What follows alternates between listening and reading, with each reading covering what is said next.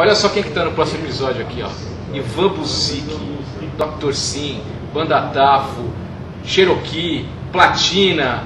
Meu, Várias. faltou alguma? Chave do Sol. Chave do Sol. Meu, cara, tem tanta história. Você pode adiantar um pouquinho aqui do que, que você Cara, vai eu falar? acho que vou falar interessante sobre o passado, o presente e o futuro.